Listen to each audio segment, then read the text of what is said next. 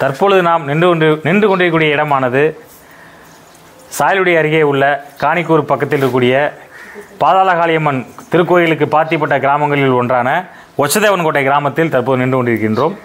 நம்முடைய கிராமத்தில் வருகின்ற இருபத்தி ரெண்டாம் தேதி சாயலுடியில் நடைபெறக்கூடிய நேதாஜி ஜெயந்தி விழாவிற்கு ஒச்சத்தேவன் கோட்டை கிராமத்தில் உள்ள அனைவரையும் பொது அழைப்பு விடுப்பதற்காக இன்று நாம் வருகின்றிருந்தோம் என்னுடன் நான் மற்றும் மகேஸ்வரன் இந்த கிராமத்திற்கு வந்து தற்பொழுது நம்முடைய ஒச்சதேவன் கிராம இளைஞர்களை சந்தித்து நேதாஜி விழாவிற்கான அழைப்புதலை வழங்கிவிட்டோம்.